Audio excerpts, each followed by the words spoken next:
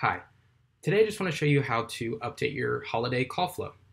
So all you need to do is go ahead and log into Reachify with the credentials that we provided you when you first signed up. It's going to be your email address and the password that you set.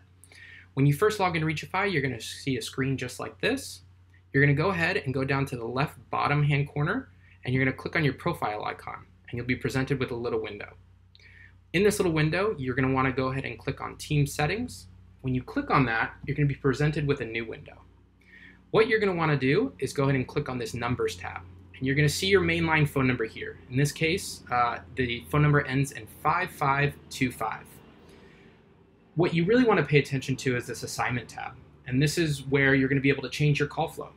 So now that we provide you with instructions on how to change it, we've set up your account so that you will see a specific call flow that it's currently assigned to. All you need to do is go ahead and click on that. Make sure you take note of what call flow that is currently assigned to because you're going to want to switch that back after the holiday.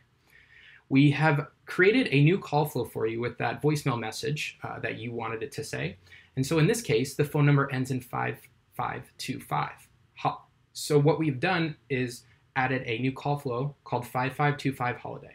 You're just going to go ahead and select that, and then you're going to go down here and select save numbers.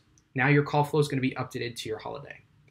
After the holiday, you're going to want to come back into the same exact uh, scenario. And in the assignment tab, you're just going to click back what uh, call flow that was previously assigned to. In this case, it was time of day. So you just click on time of day, hit save numbers, and now your call flow is back to normal. Please note, if your number has not been ported into Reachify, it's going to show a number here that doesn't look like your mainline number.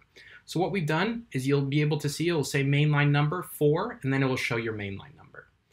If you have a port order waiting, which means that your number is going to be ported into Reachify, but has not been uh, ported yet into Reachify, you can click on this port orders tab. It's going to be the same setup. You'll see your mainline phone number here, and then you have the same assignment tab here. You will just change the time of day uh, to your holiday hour, just like you saw previously. Thank you and have a great day.